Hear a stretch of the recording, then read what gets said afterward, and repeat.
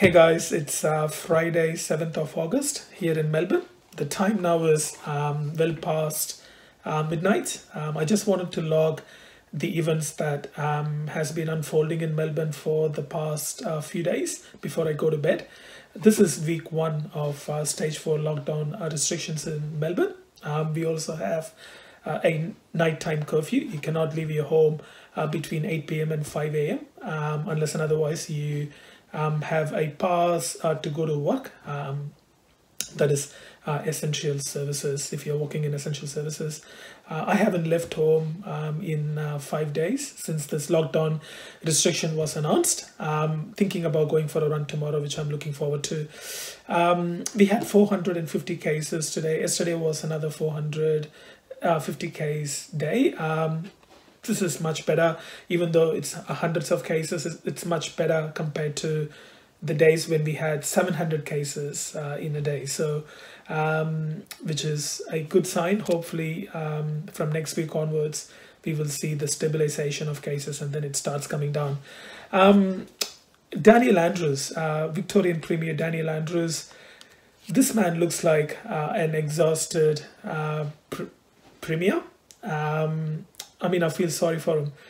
Um, he looks really tired. Uh, he has been getting a lot of uh, stick uh, recently for the way he handled this pandemic, uh, which, in my personal opinion, is quite unfair. Um, I mean, I'm upset about the way um, the Victorian government handled the hotel quarantine situation, but um, this man uh, is doing his absolute best uh, in managing the situation.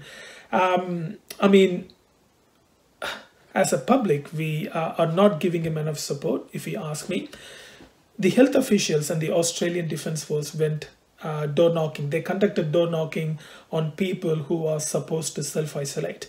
Um, so these are the ones who uh, have coronavirus and have, have been asked to self isolate or um, close contacts of someone who has COVID.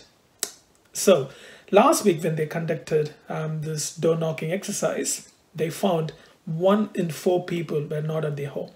And there were dozens of people who are missing.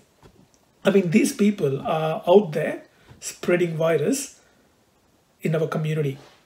How can we blame our government when you cannot just listen to a simple instruction of stay at home? Um, I mean, I don't know which part of stay at home instruction that um, these people are not getting. Uh, for the past six months, Daniel Andrews and other health officials, including our Prime Minister, have been saying stay at home if you don't um, have any of those four reasons to leave your home, particularly when you have COVID 19. Um, it's so unfortunate, guys. If uh, you cannot listen to the simple instruction, then no one can help us in this situation. Um, I mean, um, this lockdown restriction uh, will stay in place until 13th of September. But if you're going to keep doing the wrong thing, we will be under indefinite lockdown restrictions or until um, there is a vaccine for this virus. So please, guys, stay at home. If you if you don't have to leave home, just stay at home, please. Um, and then um, conspiracy theorists. The, the conspiracy theorists on social media have been um, operating over time recently, including people in mainstream media, um, mainly News Corp uh, people who work for News Corp. I mean, the News Corp journalists don't deserve any of my time. Um, I mean, they don't have any integrity. They uh, work for one of the most corrupted corpor- corporation in the world. So I'm not going to answer any of their conspiracy theory um, claims. But then um, the keyboard warriors, um, people who are on social media questioning the uh, lockdown restrictions or questioning the reason to wear a mask. Um, so they mainly have three questions. They always have these uh, three set of questions that they ask uh, people who um, support the government um, restrictions. One, they uh, say is um, this virus hasn't killed many people. So it is like a normal virus.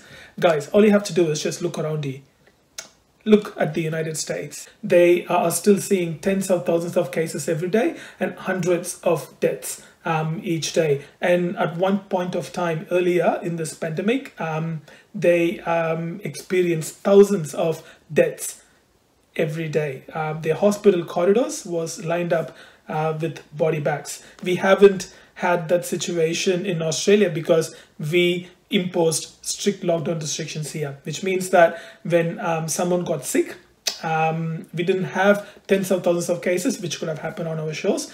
Um, and even then, when someone got sick, they had um, enough hospital resources to uh, get treated. And if they wanted an ICU bed, we had an ICU bed available. If we had tens of thousands of cases, then ICU beds would have become a problem, which means that more deaths um, on our show. So it's quite simple, guys. Without the lockdown, we would have been um, staring down the barrel. So uh, you just got to read to find out um, how deadly this virus is. And the second thing that they ask um, about is um, this virus doesn't kill young people it only kills old people. So which means that um, we don't have to have uh, stricter lockdown restrictions. I mean what a nasty thing to say.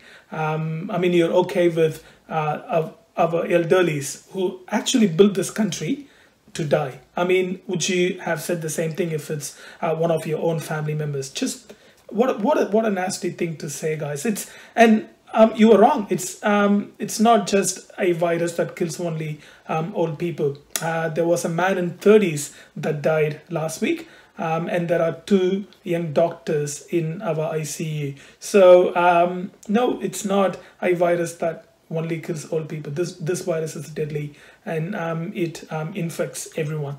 it doesn't discriminate.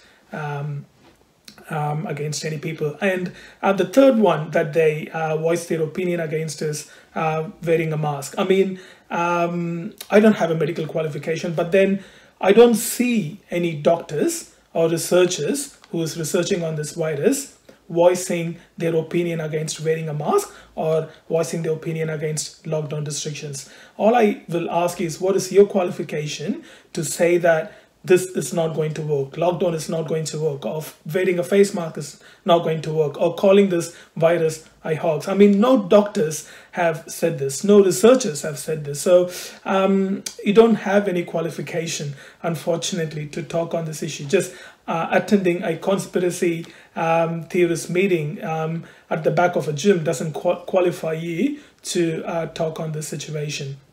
So um, you can keep your opinion to yourself. Let the uh, majority of the uh, Victorians do the right thing, which is needed in the current situation.